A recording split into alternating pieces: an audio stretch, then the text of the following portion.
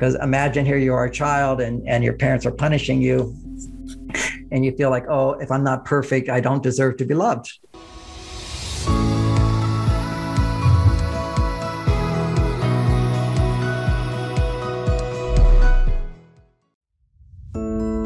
I've been able to partner with Mindvalley to present you guys free master classes between 60 and 90 minutes covering mind, body, soul, relationships, and conscious entrepreneurship. Taught by spiritual masters, yogis, spiritual thought leaders, and best selling authors. Just head over to nextlevelsoul.com forward slash free.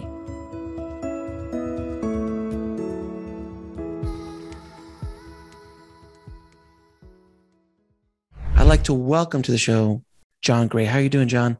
I'm doing great. Happy to be with you. Thank you so much for coming on the show. I've your books have helped me along my my life's journey, and I didn't even know how much I needed them until I got married. Uh, That's true for a lot of people. You know, a lot of people who are single go, "What do I need this for?" And then you get married, you realize men and women are different sometimes. No, I remember when your book "Men, Men Are From Mars," your legendary book "Men Are From Mars, uh, Women Are From Venus" came out, and I remember I was I don't know how old I was. I was probably in my twenties, and I started reading it, and it was very I mean, it just opened my eyes to so many things. So I did go in a bit more prepared for relationships, uh, but then really had to dig deeper in after after you get into some serious relationships. Yeah, yeah. Relationships bring up everything that we need to grow from. no question, no question. Now, how did you begin this journey down the road of? How did you come up with this concept and the idea of men are from Mars, women are from Venus? By the way, arguably one of the best titles for a, a self, uh, you know, a, a nonfiction self help book ever. yeah, you know what's unique about that book, and then I answer your question is it's not even so much focused on self help, but just identifying how we misinterpret each other. Right, exactly. You know, just so much of we have unrealistic expectations. But uh, kind of how I grew into that book was as a kid, I never thought I'd be a relationship expert. I was just a regular kid growing up, get, getting high, enjoying sex, all that fun stuff in the 60s as a teenager. And then uh, uh, after Woodstock, I just got so high, I crashed. I said, you know, must be another way. And um, the Beatles had just said that there is another way you can get high without uh, crashing, and that's by learning meditation. So I learned TM. Oh. Uh, I met Maharishi just when the Beatles left. I met him and stayed with him for nine years. Uh, he was a major mentor in my life. I was his personal assistant. I lived with him. I taught his teacher training programs. So he was a, a, big influence. They even had my poster. They did my brain, you know, back in the 70s when we started doing research on the brain, they even had a poster they put up in all the centers, 3,600 centers with my picture and my my brain function showing meditation can put you in this state. So I'm basically a 50 year meditator. It's big, big part of my life. And so I was a celibate monk during that time. I was just, I mimicked him, you know, it's like a master's degree is where you master something outside yourself. You know, bachelor's is kind of getting a, a, a an array of knowledge and then some people go to masters okay there's something i'm really drawn to i want to become that i really became him in a sense and could give you an answer to any question he would have. And then it was time for me to do my own thing. It was just a natural shift for my PhD, which is original thought. And that happened around 28 years for me and came out into the world and started having sex. I hadn't had sex in nine years, didn't masturbate that whole time. Uh, a real a real monk doesn't masturbate and a real person who doesn't masturbate that for a man the semen actually starts coming out of your skin i used to when i sweat it'd be the smell of semen but it really is going into the brain uh, I guess I just uh, I was just looking online and just seeing a lot of uh, famous stars and celebrities, other than your geniuses in the past, uh, practice celibacy, chosen celibacy. Not uh, I'd like to get laid and I'm not, and I'm going online to have sex that's a whole different thing. But actually learn to integrate um, that life force energy and only share it when you're feeling a lot of love, because then you don't get drained. Otherwise, people are being drained all the time now. And so, anyway, that was my journey. So, when I started having sex, I, at 29 years old, again, after nine years of chosen abstinence, the, the, uh, I had lots of girlfriends, and I would say to them, "Look, I don't. I'm been a monk. Teach me what makes you happy in your body." And somehow that was very acceptable, and even um, attractive to them. And they did. And I realized, gee, you know, I'd been having sex, but I didn't know all this stuff. Women were all different and they had different experiences and so forth. So I thought I'll just start teaching seminars on sex. That's how I started out because uh, we're very different when it comes to sex. And then nobody disputes that. But then to keep the sex going, you have to have good communication. So then I became expert on communication. And I became an expert in relationships. Ironically, it was the one thing my teacher, Maharishi, didn't teach. He never talked about relationships. And part of when you leave a cult, it's kind of a cult. Uh, you a nice cult. It was a nice cult. Very nice cult. It's a nice cult. Not all these crazy ones, but still, as a teacher, they say that you're not allowed to teach TM if you leave the organization. So anyway, you know, you teach what you need to learn. And actually, I'm a master of meditation, so that wasn't really what I needed to learn. So I didn't teach it anymore. I thought, what else can I teach? And it turned out to be, ironically, everything he didn't teach. Uh, so I kind of had my you know, kind of like grew up in the shade of a big tree and I got planted somewhere else, can do my own thing. And uh, what what TM does, or meditation, different meditations people do, it does open up your creativity to solve problems. So I became a problem solver. Uh, the people take my seminars on sex and making love. Then it turned into them wanting counseling from me, and uh, then I saw in counseling the big problem was women didn't understand men at all. I mean, they didn't get us at all and and men certainly didn't understand women. And I, I grew in my understanding of women for men are from mars women are from venus. Through about nine years i sat in a room counseled women eight hours a day. And literally people say how can you say women are like this? I said because eight hours a day hundreds of women came through my office and they all had the same complaints about their husband. It was like you know we all have our own unique differences but when it comes to the things that bother us the most anything that's bothering you is really misinterpreting reality. Uh, you know, now I'm 70 years old and happy guy, successful guy, and uh, I just don't get caught up in misinterpreting reality. Nothing bothers me really, uh, and yet I still have passion. I still disagree with things. I, I, I, try to avoid the heated debate about all the trans stuff. It's just like I just think it's going in the wrong direction.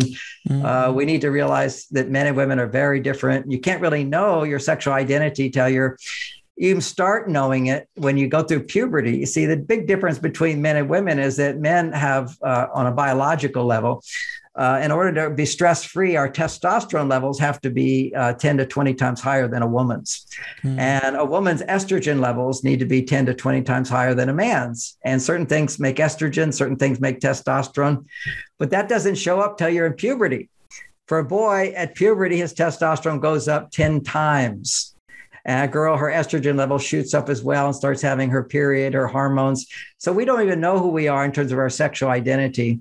And I know that's the most controversial thing, but I just finished the whole talk on it. So it's coming out of me. It's what's going on in the world today, all this discussion. Sure. Back when back when I wrote Men Are From Mars, that was that was the beginning of where the universities started saying nonsense things like um, all gender differences are just constructs of society and that men and women really aren't that uh, different at all. And I agree, you know, society defines us as men and women. I don't wear a dress. I mean, society, yet if you're in Scotland, men can wear dresses, you know, so that's society saying things. But most societies, or actually, I would say all historically, they they create a culture that particularly supports men and promotes and producing testosterone and a culture that promotes women in producing more estrogen because if women can't double their estrogen in the presence of a man, the species will die. Uh, to get pregnant, women's estrogen levels have to become 20 times higher than a man's. And so, you know, there's certain biological functions, evolutionary wise, uh, we created cultures that support well being. Because if we look at the body, okay, we have this thing called stress hormones, and stress hormones are great for short term. You know, running away from a tiger, that's great but you have to be able to not be in the stress hormones all the time. So I looked at stress hormones and noticed that when men are having stress hormones, their testosterone levels are low and their estrogen levels are high. And when a woman uh, is experiencing stress, always her estrogen levels are low and her testosterone levels are high for her as a woman. And any man who's experiencing well being the average guy, when he's not stressed, his testosterone levels will be 10 to 20 times higher than the average happy woman. And a happy woman her estrogen levels are 10 times more than a man's, and then they'll double when she's turned on. If a woman has an orgasm, it becomes uh, 20 times higher than a man's.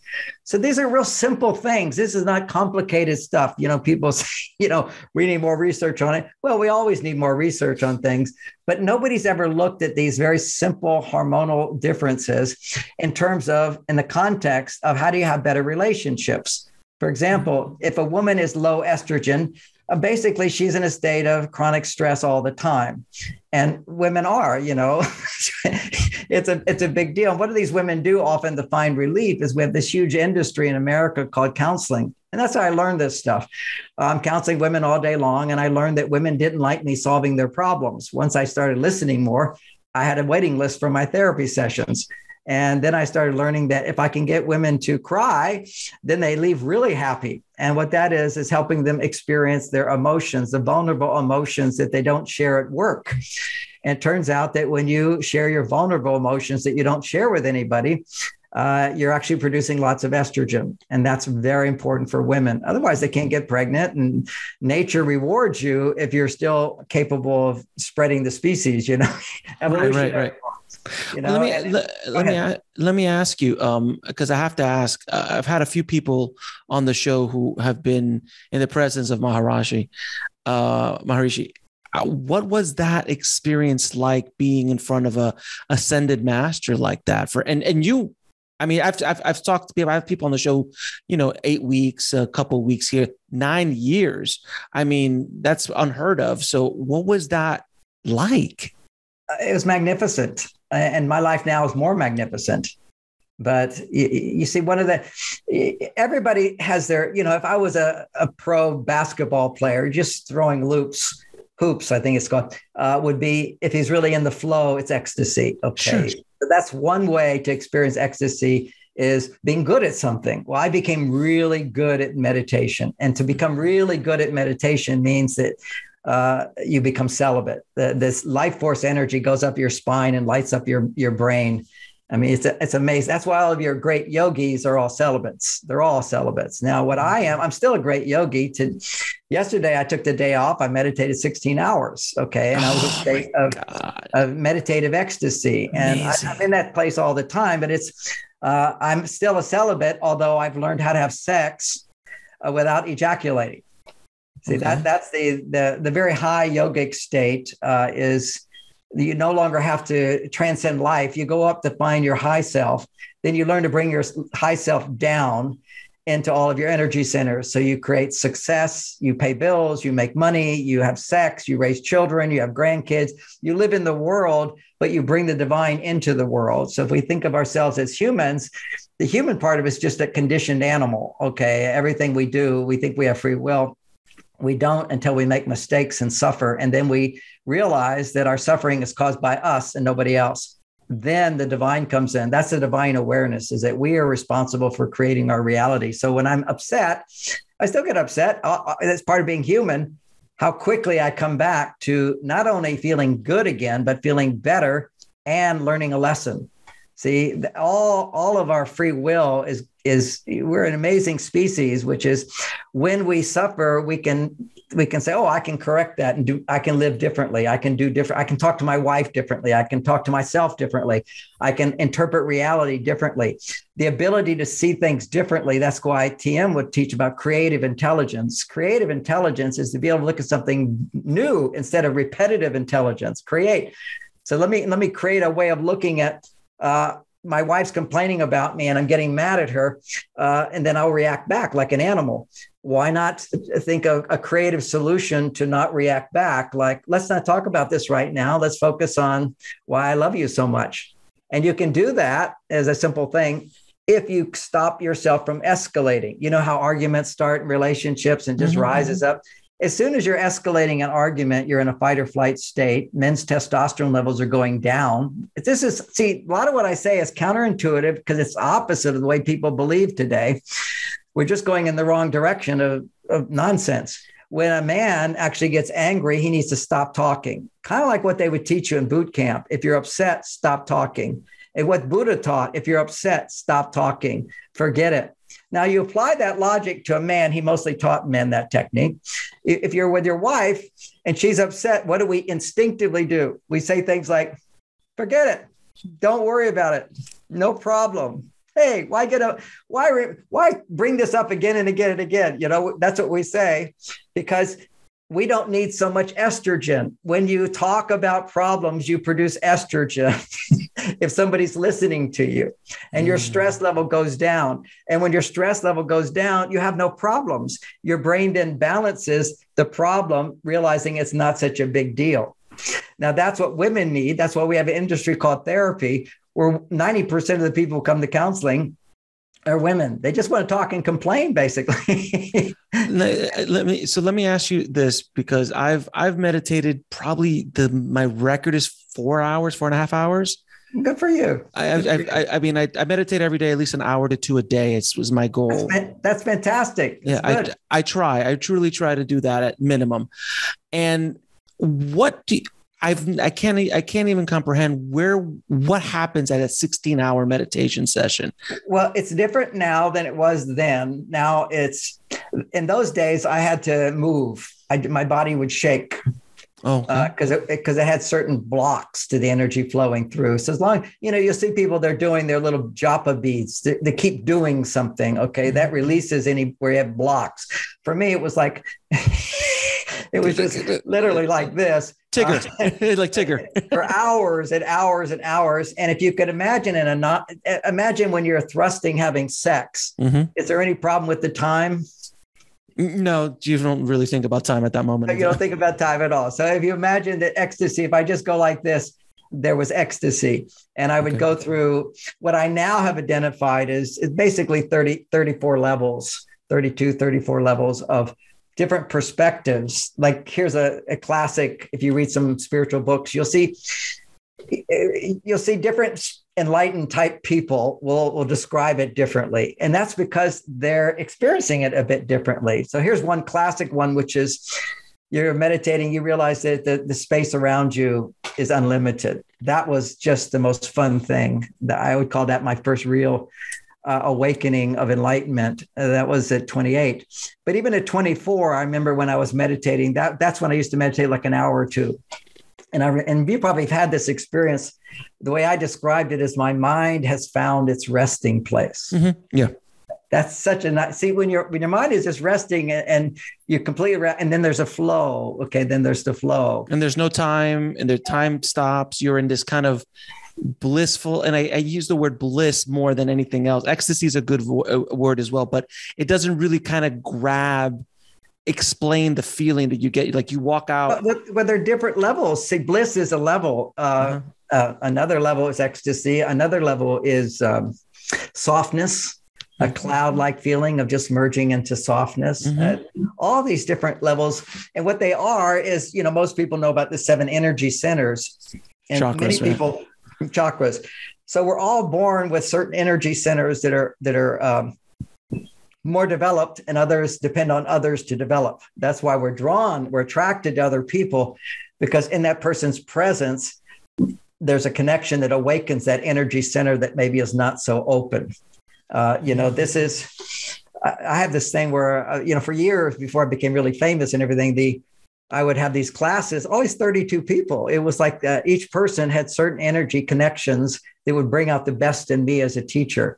So we're drawn to people that have channels, certain channels that are open that help to open us through resonance. And we help to open them through resonance. It's kind of like some women, they just have a channel and you're turned on sexually to them. Others you're not turned on to. You know, it's just this, it's, it's, it's about the energetic fields connecting. And so meditation is when you create a channel between different chakras. So one of those channels would creates bliss, one creates a softness, one creates a, a, a, a just a peaceful unboundedness. Uh, this, my, my favorite I can turn on any of these 34 levels and then I'm kind of in all of them at the same time. But the focus on one creates a distinct experience. And one of them is where you have this, this presence that comes from behind you and just permeates through you, and there's no you. Uh, that, that's my uh, when I listen to Ramana Maharshi talk about his experience. uh, that's one of the levels. You know, they're, they're all different levels. I can relate to anybody's spiritual experience. You can then see what energy channels are open for that person. And TM awakens mainly what people experienced during the TM technique is that certain people were drawn to that because Maharishi would his resonating with him would would would help you experience bliss. And then you know, I remember it was like some kind of cosmic shift on the planet. He called it the dawn of the age of enlightenment. But we'd have these classes where there'd be like uh, a thousand people, two thousand people, and we'd be in all these hotels, and we'd all be meditating all day, doing yoga, then meditating, and yoga and meditating. And it was like I was like uh, the the second where who really started to have like real profound unbounded awareness. I mean, literally, you walk around, you're just, there's no limits to your consciousness. It's just infinite out there. it's an amazing experience. It was just blew me away. Now that that lessons when you're now bringing that unboundedness into this body uh, and opening up other centers. But that's one which TM did a lot. So you hear a lot of TM meditators and it was like uh, this other guy did it that around the same week I started happening to me and they started having another one. And then it was like a, a thousand people were all experiencing unbounded awareness. That's free consciousness, no limits to it. Then the, after a while, about a year or two of that, I remember feeling there's this unbounded awareness but I want to be that unbounded awareness. So I want to be that. So then that becomes another spiritual experience where I am that as opposed to just I'm experiencing unbounded awareness. And then, but there's a joy in that. Each level has its own amazing joy. And then there's I am that. And once you are that, then there's another another experience to that, uh, which is that's all it's all inside of me it's all inside of me and the only other time i had that experience is i was on ayahuasca and it was like the whole mm-hmm. forest and all the animals are all inside of me. The noises were in me because it's all within me. You became one with your surroundings. Yeah. That no, that's I am that, but that I am is different. Oh, okay. It's, it's, it's, a different experience of I'm one with everything around me. Right. In other words, everything around me inside of me as me. and then then you realize that's sort of the dissolution of the ego, which is it is it if I'm that, but that's in me, then I am then who am I that I am that over there that I am? So, eh, so that's another one of these classic phrases, I am that I am, that you can wonder about until you experience it. It's amazing experience because once I'm that, which is all, uh, then there's no me. So you kind of wonder, who am I? And that's a whole nother Hindu teaching where they would practice neti neti, which is I'm not this, I'm not this, I'm not this, I'm not this. I remember Rajneesh had a fun exercise where you imagine you've died and mm-hmm. you're gone and everybody's at your funeral, you know. And, and, I used to put that in my seminars a long time ago. Uh, that's a fun experience of, of not not being, except when it, when I'm not that, because I'm that, and then that I am, I am that I am, then suddenly, well, who am I? That's your the awareness of your awareness of something. Okay, so right. it's uh, awareness of awareness is a little bit like that, but it's a bit more profound. So once you have, I'm not, I'm not this individual ego now, because what am I then? I this is this body and whatever, and sure. it's all one one. Then you you connect with source, and it you know when somebody's being creative and they're writing something or you're you're making a movie and all that you're actually you're right there at source okay? It's just pouring out. It's just you know the flow you're in it and that's a state. And then there's there's that and then there's a total surrender that happens where you realize that you know the the source is doing everything for you particularly when you're in touch with you're dependent on that. So it's no longer I'm doing it, I'm dependent on that. And I remember for me, always, I'm one of these people who's um, the first time I do something, it's like I do it really well. And, and, and that's because I was more in touch with source. I've been doing yoga since I was three years old. And as a child, I used to at least sit 20 minutes and next to the heater every morning. And I, what I didn't know then is I was going into meditative trance. So my, yes, part of my family, you know, if you were an actor, you had actors who were parents, they'd be actors. You sort of pass on the lineage. My mother was the you know, my dad taught me yoga at three years old. We're all doing yoga, the family, and my this is in Houston, Texas. you know, this is like they're way into the spiritual world. And my mother had an esoteric bookstore. Uh, wow. You know, and she never advertised. There's just she had so many books in her own library that she eventually said, I'm going to buy a house and just rent out, uh, not rent out, just loan out my books. And eventually people wanted to buy books and it became the biggest esoteric spiritual bookstore in the country. They had to add another wing to the house. They did it, they just had a little tiny sign. That was it. It's pretty much what I do. Uh, I don't do. People always ask me for marketing skills, They we're, you know, I just take the calls. That's all I do. just, you know, it's kind of a bit like that law of attraction thing that everybody has got on for a little while. I'm actually in that movie called The Secret.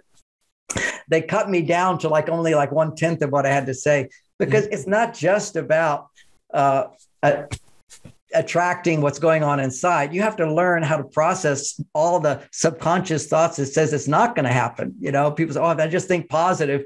You could just be denying emotions and denying your doubts and denying your fears and then you kind of go why hasn't happened yet? Well because you haven't processed all the obstacles within your being to having all that come into your life. And it's you know, a success is tough. You know, you look at all these. I know that sounds terrible for people who aren't that successful, but what happens is look at movie stars and how mm-hmm. crazy their lives are. Look at rich people, how often mm-hmm. crazy their families are. You know, right. in a sense, in Hollywood, you're not a star until you've gone through rehab. Okay? Right. It's like a it's like a path a path you have you know, to walk. But what that is, if you have to understand, going to rehab meant your life was really, really awful and bad, and people don't understand that because the more safe you are to be yourself. Okay, now once you have some achievement, like success, people trust you, they appreciate you. You feel, oh, I can be me. I'm so great. I can be me then then basically everything that's unlike you comes out of you. So you see that you know they're like a bunch of spoiled kids. Same thing happens in marriage. Well, you know, when you start taking your clothes off with somebody, when was the time when you're growing up where you took your clothes off all the time? You're a baby.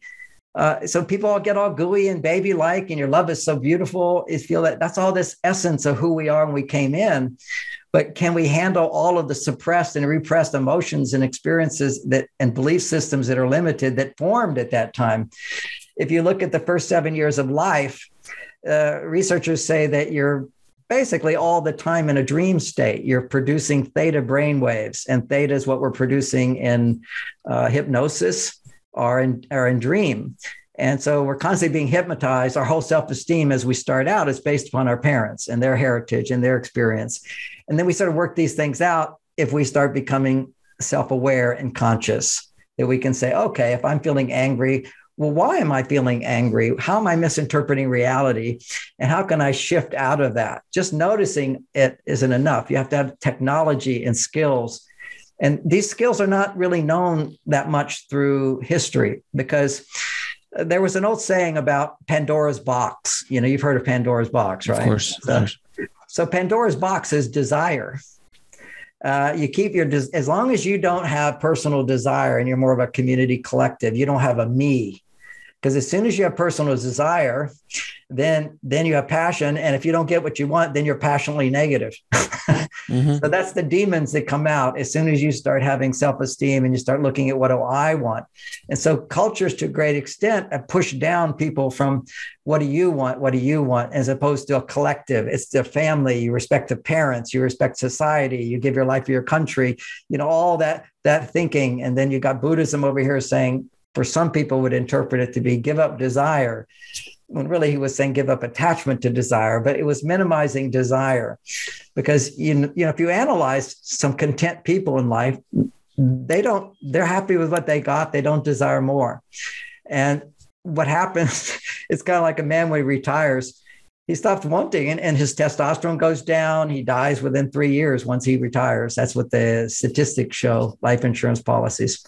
So, now, so with desire, John, when when we the concept, I love the, the concept that you're talking about. That you know, are you saying that we as a species or as people eventually like the ascended masters the the the yogis of the world the, the, these these people do they just think of themselves completely connected that we are all one as opposed to an individual person that's like separate from everybody else? Okay, I think I think of it like that. I, I, you just talk about it happens for me. It's just where I put my attention. There's one one part. If when you're when you're in the source, you're one with all. Right. but the experience of one with all is there's no one. it's hard to describe these things. Right. You're you're you're part of you're part of source. So it's just, it's just what is, and there's an awareness of what is. And so according if we go to the source, you and me are the same. But I see you completely different, and I'm completely different because I also am uh, integrated. That I, am also an individual. An easy way to say it is like there's a big ocean yeah and you're a wave and i'm a wave and we're all made out of the same thing. If you go back to maharishi's teaching tm which is a great beginner's technique for everybody and maybe some people do it the rest of their lives.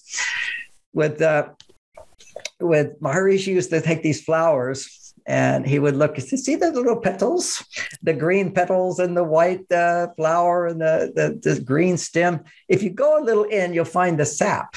And even though it turns white here it's still sap. And even though it's green here it's still sap. So that's the the unmanifested state of life. So the source is a one source one ocean. And and part of enlightenment is to recognize that you are one with the ocean and you're a wave on the ocean. And you are the ocean. It's like taking two yeah, bottles yeah. of water out of the ocean. You're separate, but you're both water. But you're, you're in a bottle. You're in a bottle, and you know I'm the ocean. Uh, I'm a little piece of the ocean. Right, That's but but then the, the, the insanity is that like I'm the bottle. the insanity is I'm the bottle, and also there's another insanity that I'm the ocean. Right. Okay. That there's a another saint in India. I like talking about my experiences in India. I've been there yeah. like a lot, a lot. But yeah. another saint, Meher Baba, is quite famous. Yeah. And and he he used to have to beat himself every day, uh, just to uh, what what would he do? He he. Can't remember exactly now. It's going back too far with with Meher Baba, but Meher Baba went around to mental hospitals, and he said half the people in mental hospitals are all God realized and that they think that they're one with, that they think they're God. Okay. Mm. There's so many Jesuses in the mental hospitals, okay, and the Buddhas in the mental hospital. But see, they have this experience and they no longer hold it in a bottle, but they think they're the ocean. And and part of being logical and reasonable and living in this world is, yeah, I'm one with the ocean, but I I can't even lift more than 150 pounds. Okay. So, and uh, I have all these human traits, and, and we are human. The human part of us is is a part of us. There's an old saying, which is to err, to make mistakes is human. And then add to that, and to be divine is to learn from those mistakes and change your ways, change your way of thinking, change your way of behaving, uh, behaving. And uh, what's happening in the world today is we're, we're going through a little regression. It's greater mm-hmm. freedom See, this was the 60s, and I'm going to talk a little bit about what's in my book, uh, which I think for relationships yes. called here Beyond Mars and Venus. Mm-hmm. Because uh, what's happened in the world today is dramatic changes. And it started after World War II. And World War II was a, supposed to be the uh, the war the war that ended all wars. wars. Right. Okay? And so what you saw in the 50s and then into the 60s was freedom, more freedom when you have more freedom, then anything which is suppressed inside of you comes out. Okay, that there's just that's why you see people who get uh, lottery tickets, uh, they win the lottery, they're really happy for a while, then they go right back to the unhappiness that they had before. Uh, it's literally when you feel I'm safe, I can be myself, then every part of you that you push down to be yourself comes out. Uh, so that's looks like that's what all therapy is about is to look at all of our conditioned reactivity comes from unprocessed experiences from childhood. Because imagine here you are a child and, and your parents are punishing you and you feel like oh if i'm not perfect i don't deserve to be loved. A big misconception uh, we're all imperfect and we all deserve to be loved but we have to learn how to uh, learn from our imperfections and continue to grow so it's a real simple thing. And a child doesn't know who they are. Uh, we all come into this world pure with love and and and and openness and uh, mainly just open and loving, put it that way, joyful, joyful, mm-hmm. hopeful. You know, it's a, a, wave of positivity. And but who do, who who am I to deserve that? We look in a mirror, just like today. I had to look in the mirror and brush my hair. Uh, how do I know who I am? It's how I'm treated or how I'm seen by others. So if I'm being punished, a simple basic thing is then then oh well I was I'm, I was imperfect, and so I if I'm imperfect, I don't deserve to be loved. I deserve to be punished. I deserve to suffer. Mm-hmm. I, I don't get to do, and, and uh, how to change that conditioning so that when you make mistakes, here I'm an adult, I make a mistake. Uh, okay, learn my lesson and let it go instead of holding it on. You see, we tend to hold on, hold on, and some people they make they're so lacking love that when they make a mistake, they won't admit they made a mistake because they're so deep down inside afraid that if somebody found out I made a mistake, I would lose love. And so, so we have a lot that all, you know, it's a whole world of psychology and our suppressed feeling and all that. So when I hit these high levels of enlightenment, all that stuff came, came up. And that's called dark night of the soul. That's another stage of enlightenment is this stuff comes up and you have to, it's like crazy stuff. It's, it's, uh, you have to uh, tame your arrogance. You have to tame your outrageousness. You know, this kind of a cliche of these, these, uh, big stars. They have such big egos, and you have to give them some l- little latitude because everybody's saying yes to them all the time. You know, so mm-hmm. it's like, uh, and, and, so they they become very impatient. They become very irritable. They get depressed. They want to take drugs to avoid all the feelings. And then, uh, you know, I do all the meditation stuff, and for me, I then went to China where my ideas are continuing to blossom. Uh, China has no problem saying men and women are different. America, I was canceled in America in 2000. you know, wow. I, am the ultimate sexist in the idea of universities. You know, one of my daughters went to Berkeley and in her social studies, the teacher was holding up my book, you know, saying this is the sexism. Because Men Are From Mars was the number one best-selling book of all books in the in the 90s. And my mm-hmm, daughter was. was Berkeley. And the teachers, you know, dissing my book and quoting me. And my daughter there just said, you know, I know the author of that book, and uh, I don't think he's ever said that. I know he wouldn't think what you just said. Uh, have you actually read that book? And the teacher, to her credit, she said no. You see, just to say men and women are from different planets means you're a sexist, as opposed to mm. What I sincerely want to do is help us understand our differences in a positive way. Because if we don't understand our differences in a positive way, then when they show up, men think women are crazy and women think men are narcissists. That's what's happening today. so and, what are the what are the biggest differences between men and women in the way we communicate with each other? Okay, it, now you, to, we're, we're talking two time periods. Okay, so let's talk a little about men from Mars. And usually people relate to this when they have children. Because in the old days, people used to have, you get married and have kids, right? So as soon as you're getting married you have kids, You've made a commitment, your heart is open. First of all, you're getting naked with somebody. That means all your conditioning is going to come up because it brings back all the childlike emotions of fear.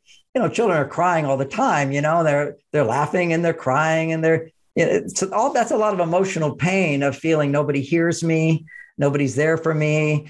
Uh, I have no power. I can't get out of this crib you know, these are all repressed emotions and they don't show up until you feel more mature and self esteem and more in control of my life. Then the feelings of out of control, powerlessness, uh, start to come up. And even betrayal, you know, such a big deal about, oh, my partner betrayed me. We make such a big deal out of betrayal. Well, a child has that emotion because one day we're happy and attentive to the child. We begin to think, oh, everybody loves me. And then one day you're having a bad day and I'm being ignored. I've just been betrayed. this is the way way couples are you know as a couple they spend time together man's attentive to her she's loving him he's loving her and then he needs to go to his cave okay that's a very popular phrase of men are from mars now we have man cave and all these things it became part of our culture this is like really important for women to understand that for men when they get really close they need to pull away and I talked about that like the rubber band theory. I said in Men from Mars, men they get really close to woman, and at a certain point, they just need to back off, find themselves again. Or they don't, they're not thinking by find myself again. They're just thinking, I need to be do my own thing. I can't just be with her all the time. And women shame us for that if they don't understand this, because connection, when you're together and you're sharing and all that connection increases estrogen. Being alone increases testosterone. Feeling independent increases testosterone. So now, biologically, people didn't understand hormones a long time ago. They just understood that, hey, he needs to go off and do his thing. Don't take it so personally. But today, we all think we're supposed to be the same. And it was sort of built into a, a marriage, even because the man was the provider. So he would go away because he loved her Think mm-hmm. about that. I'm going away to do my job because I love you. And a woman's going, sure, he loves me because he's going away. But now we have a society where women don't need men to go out and make the money. They're out there making the money too.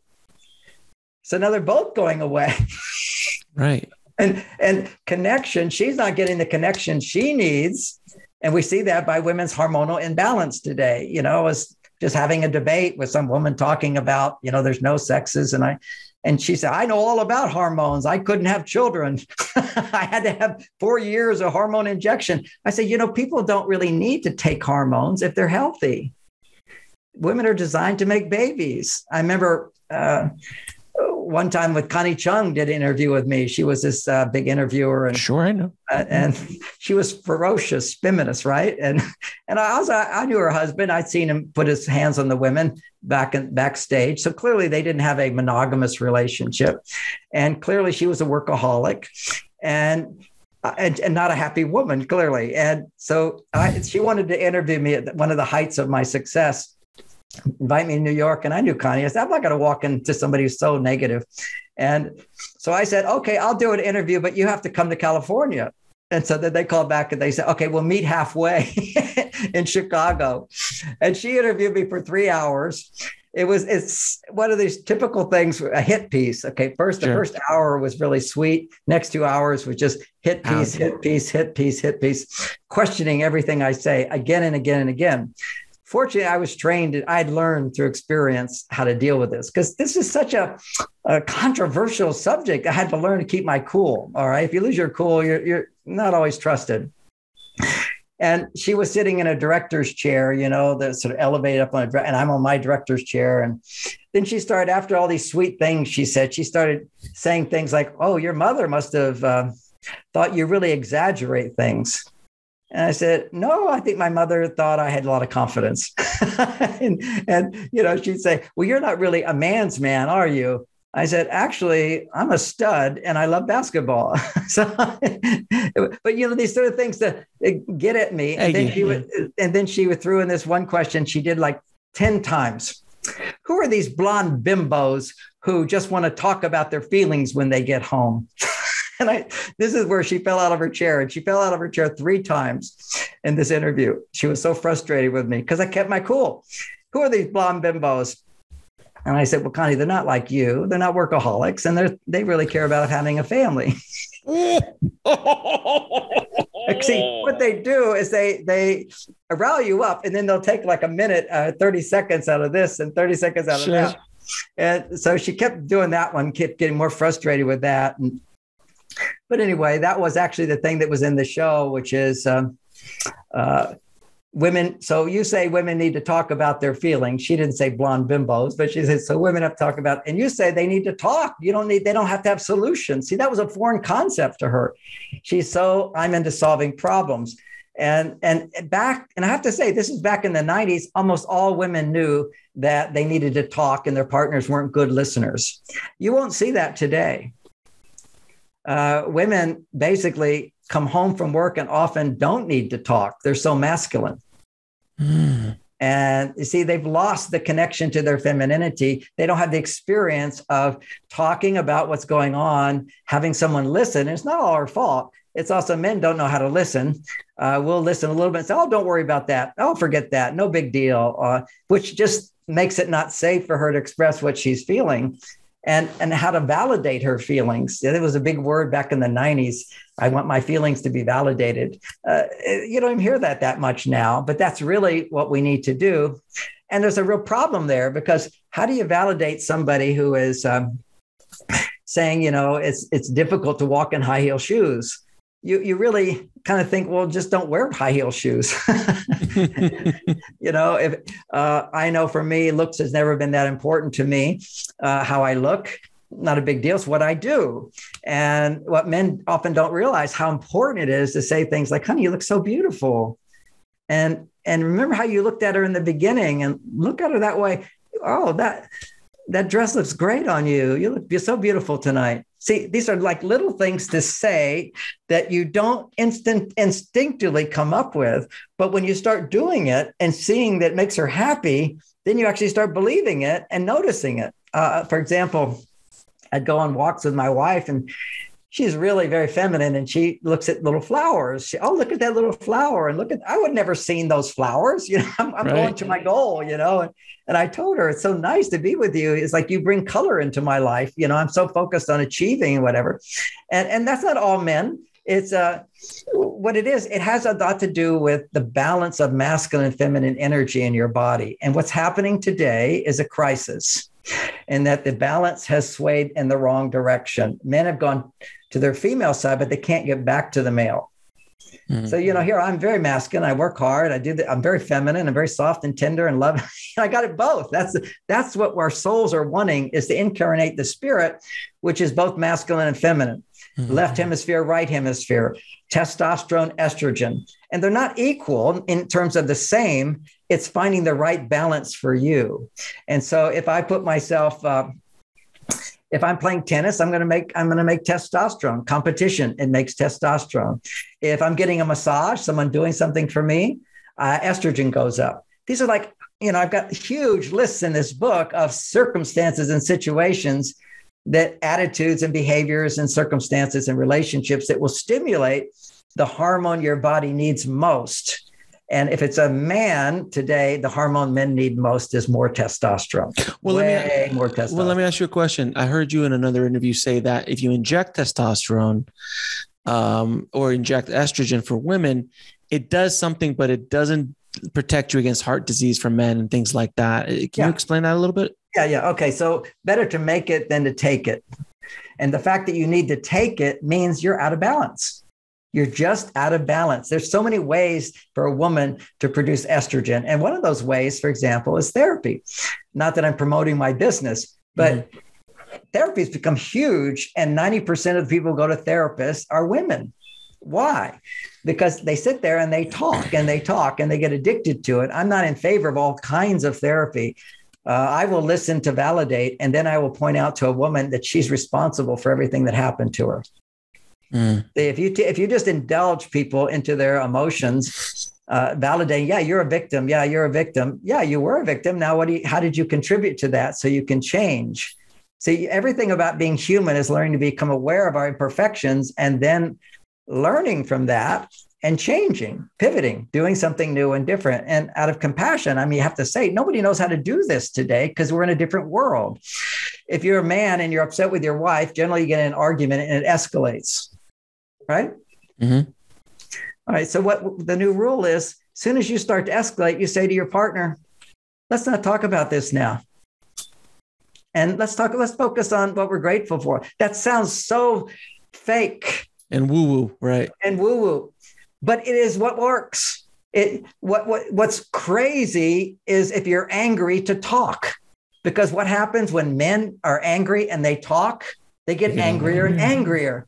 And what's happening biologically is his testosterone's going down, his estrogen's going up.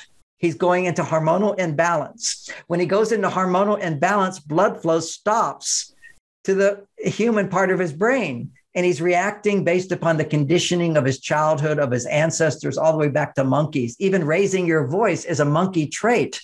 Monkeys cannot communicate. So they talk about the importance of something.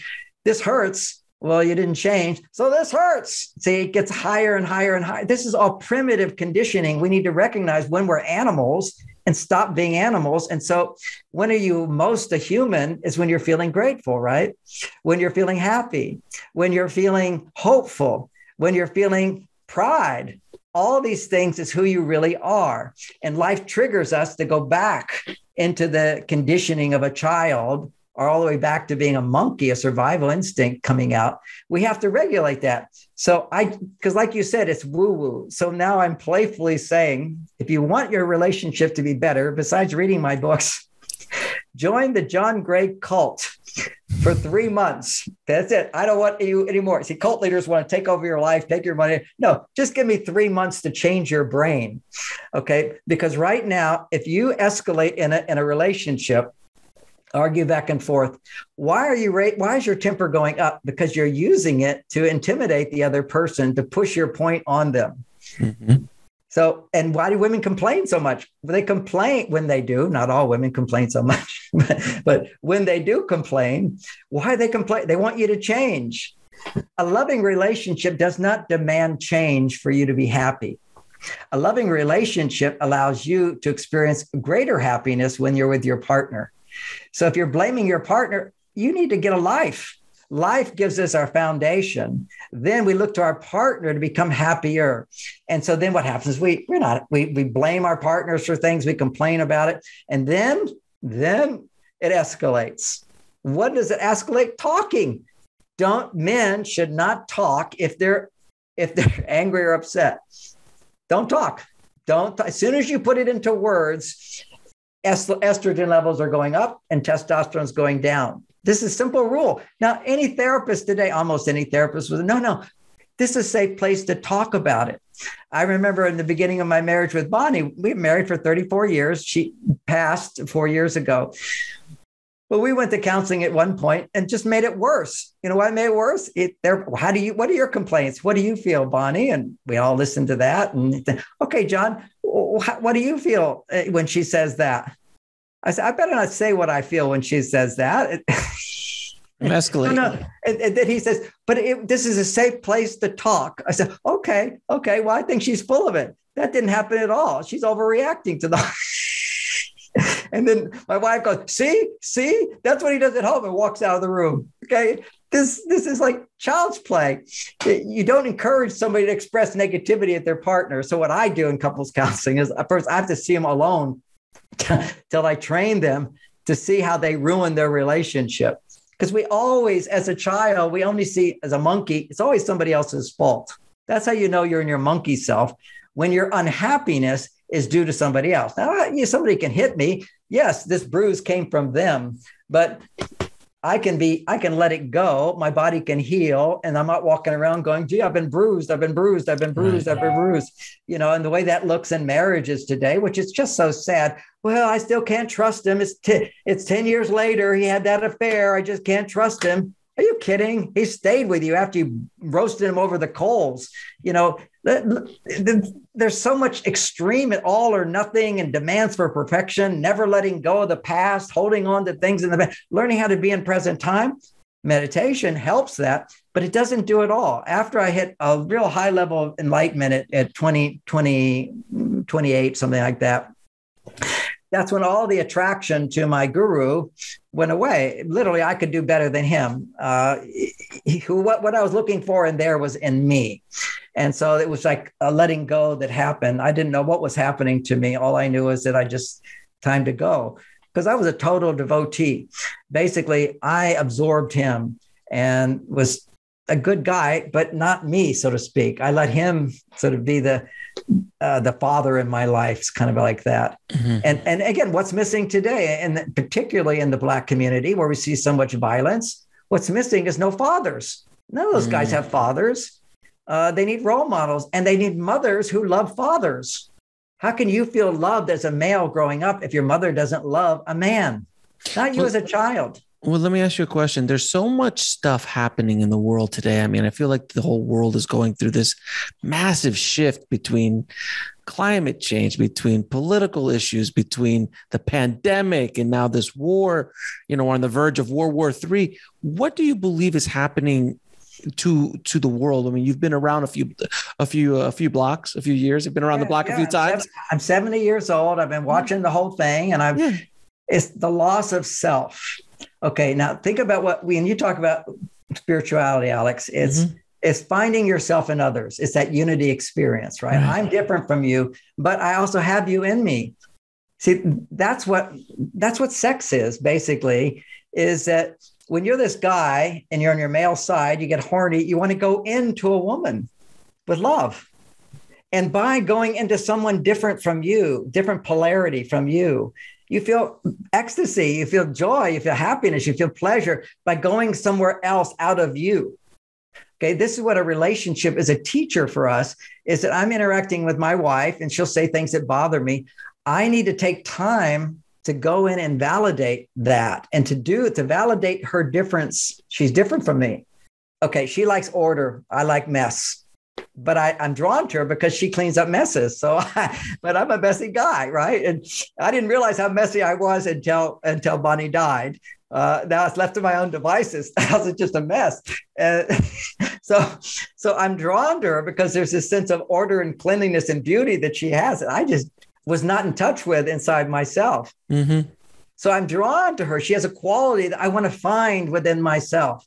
And so by overcoming challenges and, and arguments and whatever, where the differences show up, resolving them is finding the good and what her perspective is within myself. Okay. So when you don't have a self, when your heart is not open, you can't find the good in what others say.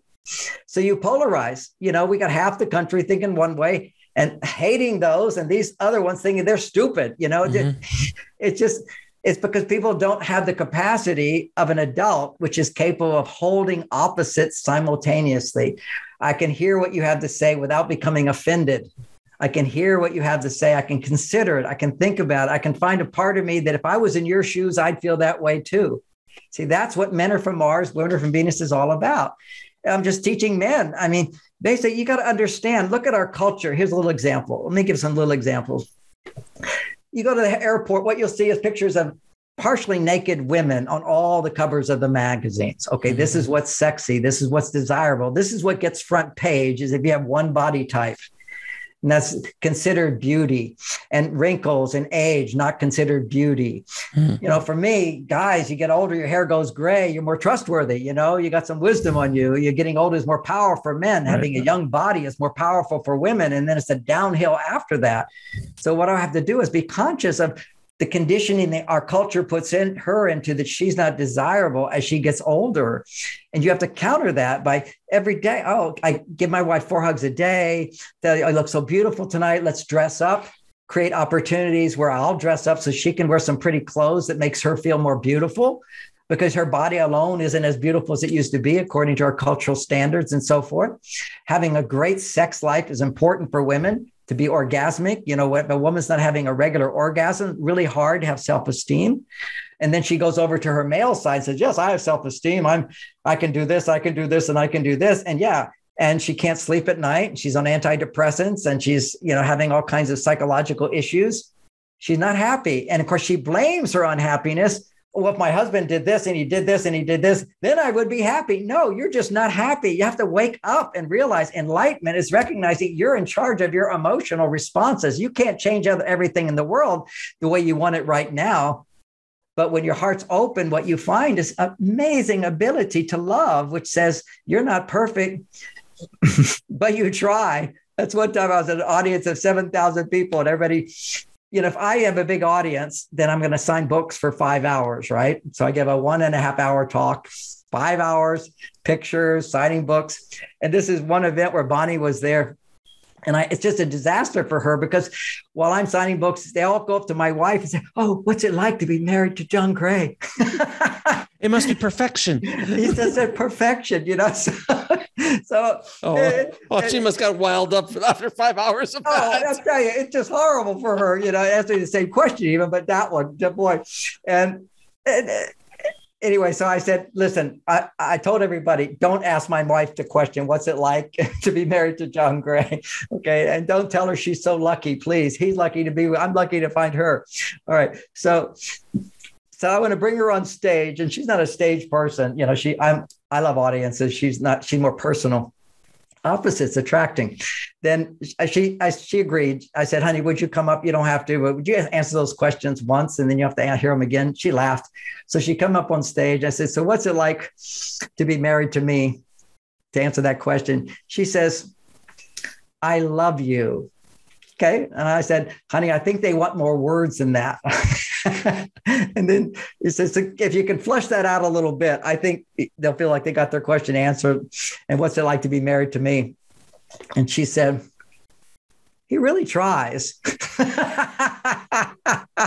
I said, Ben, you have to get it. I my wife loves me. I have a great sex life. We have harmony. And all I have to do is try. You just have to try. Now, I would add to that intelligently try, but you know, don't give up. So if you're, if what you're, if you feel like it's impossible, realize you don't know what you're doing and find somebody who knows what they're doing and learn from them. That's what we have to wake up to is everybody needs to have somebody who knows more than you about a place where you're not that great. And today, we're really not that great in relationships at all. It's a very, very unhappy world today. And biologically, we're in a very unhappy world. We're looking at men's testosterone levels on the whole order 20% lower than where they would have been 20 years ago. 20% lower. Now, why I say testosterone is so important for men is that you can measure how stressed a man is by the balance of his testosterone estrogen. And I say that not because a lot of studies saying that, but the studies say that when a man is stressed, his testosterone levels are low. And the studies say that when you're emotional, your estrogen levels are going high. So, so basically, when a man is angry, his testosterone is going down because he's in fear. You know, anger is fear. If you say to an angry guy, the lack of emotional intelligence is another thing I talk about. But the gender intelligence, you make quick changes. It's quite amazing. Emotional intelligence takes a little longer if you're angry, you're not just angry, you're also disappointed and you're also afraid. If you're if you're not afraid, you're like uh, the world is your oyster. You're cool, calm, and collected. You're patient. You know, we become irritable, and impatient, demanding because we don't trust that we're going to get what we want. And the only way you get what you want is to let go of your desperateness and your neediness and your negativity and demanding. Meditation teaches us how to pivot, but it doesn't help us to identify emotional intelligence our gender intelligence, doesn't allow us to understand what, what our reactions are instead of denying reactions. In a sense, I spent nine years in bliss, denying all negative emotions. I could do that because I was not out in the world having to earn money. I'm a monk, right? So it's an easy life. Uh, if you can enjoy meditation. and fasting and and other things. You know, I would fast. That's a discipline. Discipline increases testosterone. Uh, hard work and it is hard work in the beginning. You know you talked about it's hard to meditate more than an hour. I get it. Uh, and now it's i can go for unlimited amount of time but my back does get sore and you know i start to bend over. So i have a solution for that. I sit in my bathtub for hours and hours and ironically i don't wrinkle up. Uh, is quite very cool. So the water just gives me a little more support so I can just stay in this amazing state. Blissful and some, state. And, and somebody says, you know, what's the point of that? Well, the point of that, at least for me, that's that, that's my chosen vocation, is helping the world by bringing in more light and love. Uh, I am one with the collective mind. And when when I am cleansing out my collective mind on a very practical level, it's helping the world and it helps the world by i get to do my talks i do this and i come from a place which is grounded and anchored into source consciousness. And when you're anchored in a source consciousness you just have a good effect on people. People can begin to see things differently. And in terms of the maharishi's teaching you have creative intelligence. Creative intelligence is not repeating what you learned as a child is, is and, and what's going on in the collective mind you're mm-hmm. going out of the collective mind and you come back in. Einstein talked about this concept of collective consciousness. And when you transcend the collective consciousness, you step out and in order to take another perspective. And then you bring that back in and you apply it in some way. And anybody who can step out, that's a good thing to do for the world is to keep stepping out to bring in more and then what happens is when you bring into the world, it brings you down. People don't realize this is, you know, they put Jesus on a cross. You know, the guy was bleeding and in pain. okay. So just because you're spiritually enlightened doesn't mean good things are happening all the time. Uh, true. Very true.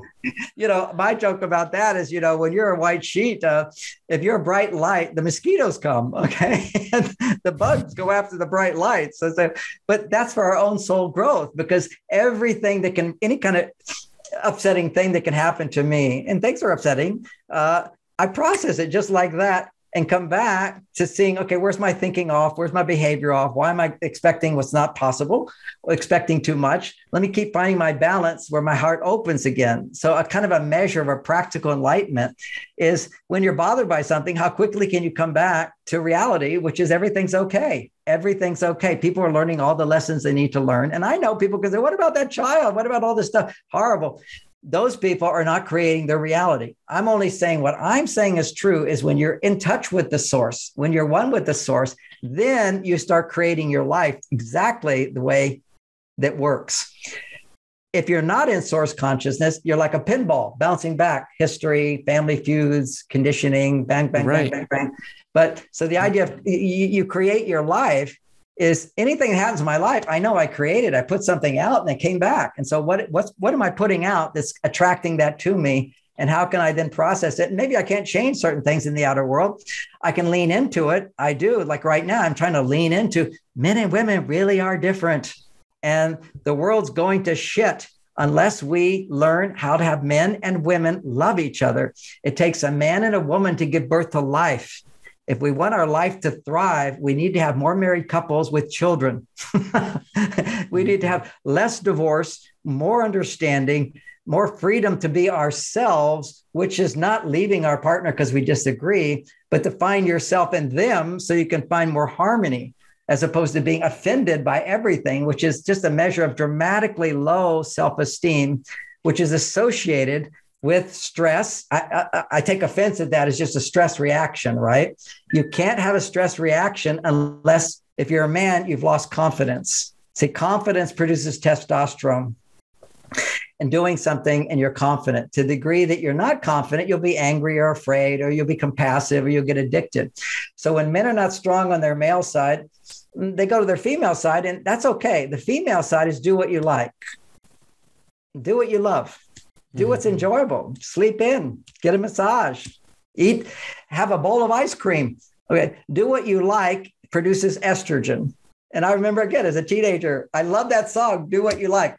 Do what you like, do what you like, do what you like. This was the whole culture of men going to their female side. Fortunately, I found meditation to bring me back to my male side the discipline of meditation. The I was a bit of an extremist. I don't recommend that much for everybody, but right. everybody you got to become extremely being you, and that's who I am, and that's part of finding myself because I had so many. Uh, so much on my female side. Okay. I have all these emotions and all these feelings. So I learned how to be a Buddha where you simply forget all your problems and you go state of peacefulness and you don't worry about this stuff and and you can't indulge you know i was more of ascetic only eating one meal a day which i still only eat one meal a day now we have science saying that's the best thing for your health is intermittent fasting you know only eight hours eat during that time. Uh, you, you know the, the world has gone the wrong direction and we see the results of it. And i'm not negative about it because i know that people do not change in a positive direction until they suffer going in the direction they're going. Right. You can't pivot until it's painful if people just don't change, we we are just comfortable people. You know, I, I, will not go to the gym unless I get fat. Okay. I will not give up ice cream unless it made me fat. And if I'm fat, it doesn't feel good to me. Okay. I want to feel nice and slim. I want to be able to do my yoga exercises and it feels really good. I also want to have my testosterone. So I'm a healthy man. I'm having great sex. You know, this is a big part of being human.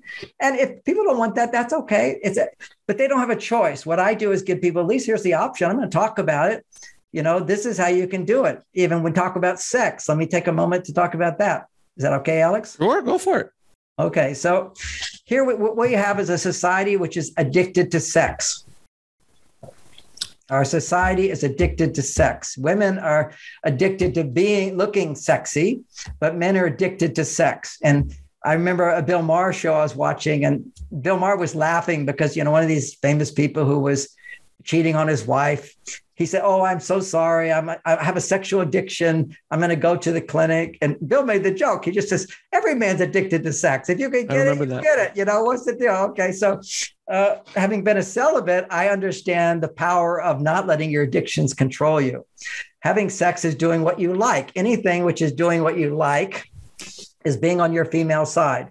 So what we now have is a culture of men who are addicted to all addictions is when a man has an addiction, he's doing what he likes, right? Even though it's something that's not productive for him, you know. so if, if, you can't say something's addiction unless it has a down, you know, I, I like to make love, I like to teach, I like to write books. So I'm not addicted to those things. That's just me being what I'm here to do. Right. But if it was causing me to ignore my wife all the time, then I would be a workaholic. You know, if my life was being disrupted by some addiction I have. So anyway, finally the research came out and it shows that when men when men have set when men ejaculate say on saturday they did it with 25 year old athletes. You have sex on saturday saturday night and then you wait. And they had to like say now you i want you to stay abstain from masturbation or having sex for six days abstinence for six days. On the seventh day their testosterone increased 50% if they had sex on saturday night and they had sex on tuesday night on saturday morning their testosterone was their baseline if you want your baseline testosterone level to be on ascending scale for the rest of your life one aspect of it is have sex once a week.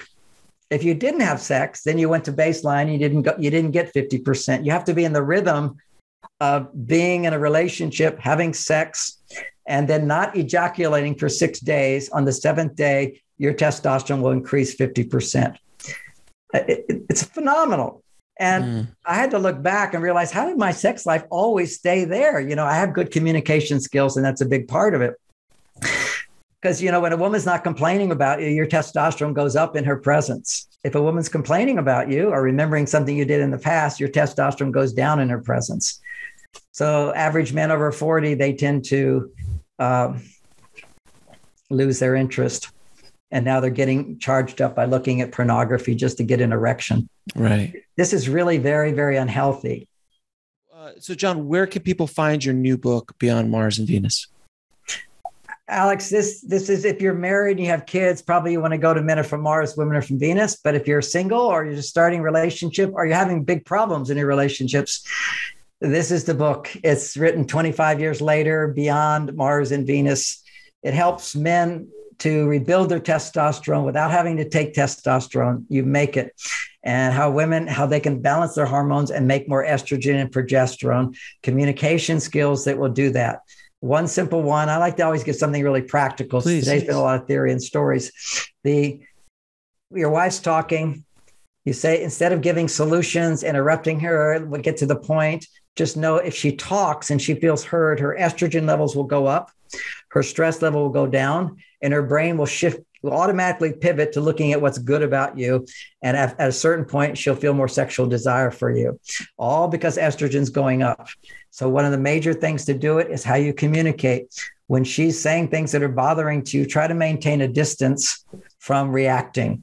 And, and so, men have to have a pivot. Where do you go to? You go to tell me more, help me understand that better.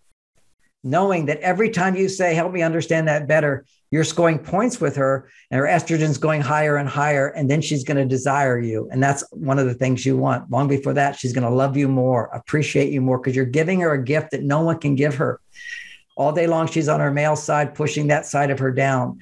So these feelings will come out. Usually they're very overreactive they're irrational they don't make sense at all. You could always use logic to break them down she doesn't need you to do that that's what you need to do if you're upset stop talking listen more. And if it's still bothering you because you're losing control or you're taking everything personally, that means your estrogen's going up. You need to say, let's not talk about this now. I need to process it or I need to think about it. Go away for a while. Do something to increase your testosterone, which anything that is challenging, anything you're good at, solving problems that doesn't have a negative result later, which means don't just go watch porn. That will give your testosterone a boost, but it will just drop down again.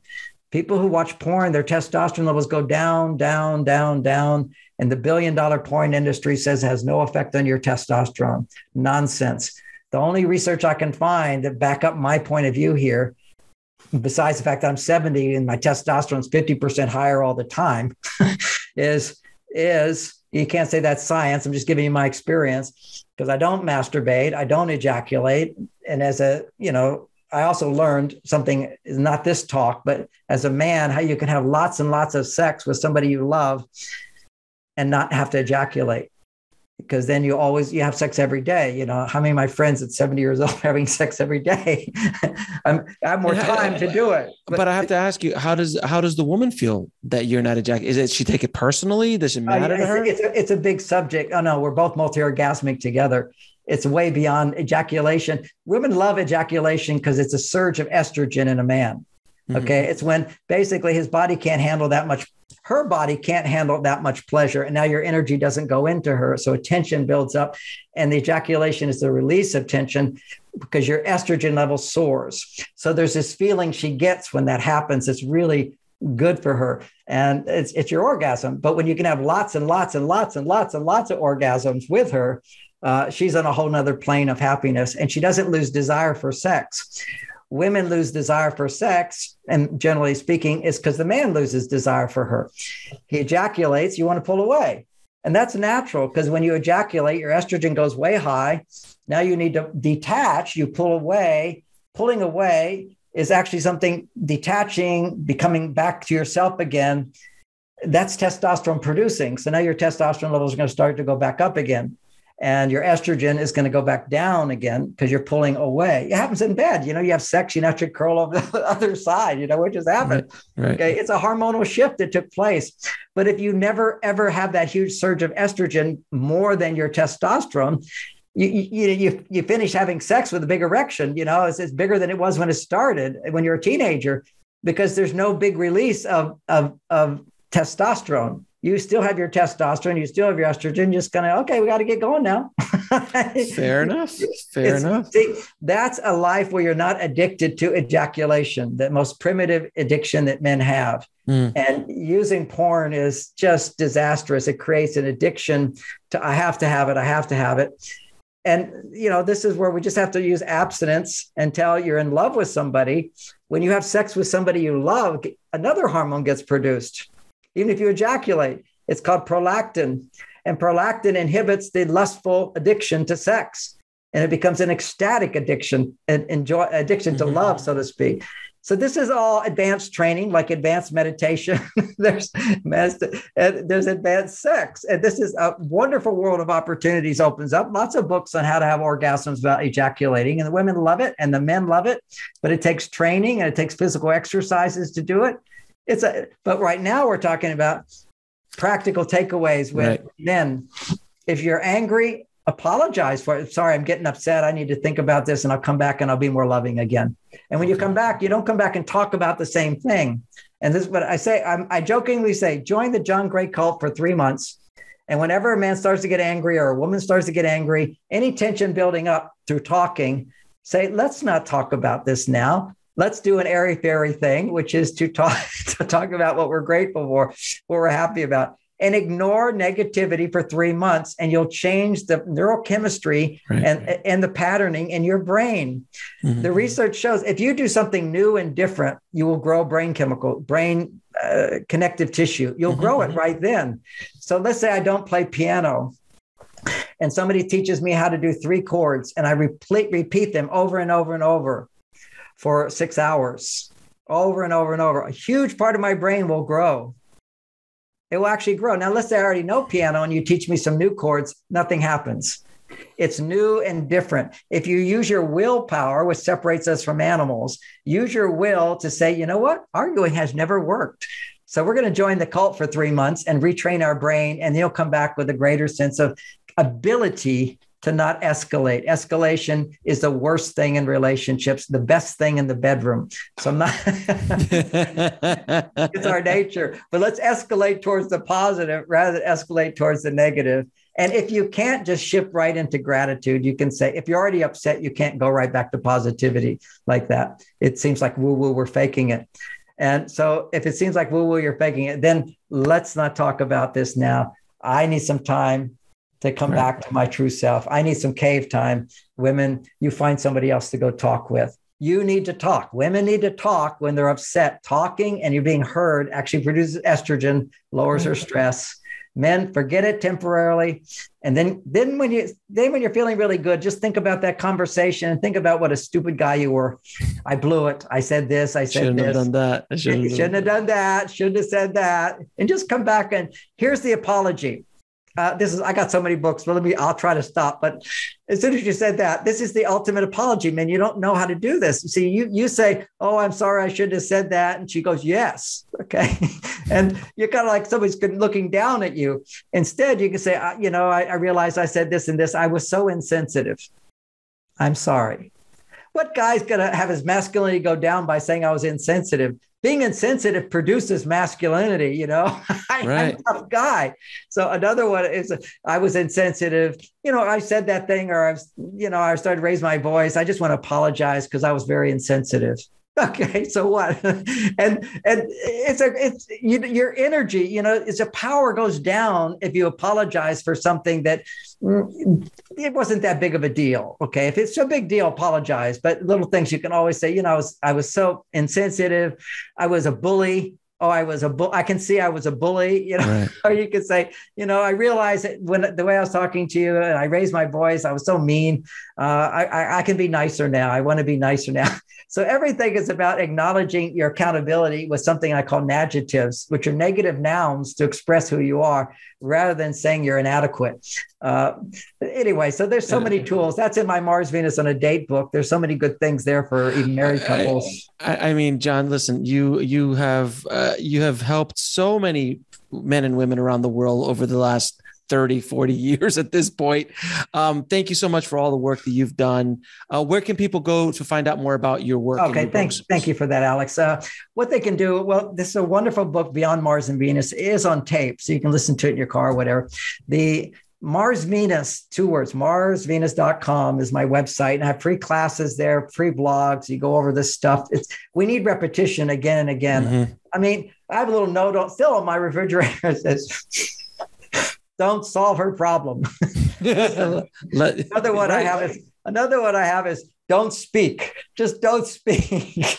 and it's it, and of course women want to say, okay, what's going on inside? And then as soon as you speak, why would you say that? Well, how could you say that? And the argument starts. So as soon as there's some tension, go into all right let's not talk about that now let's just focus on the positive and uh, appreciate that's another one something i appreciate about you something i'm mm-hmm. grateful for something i'm proud of.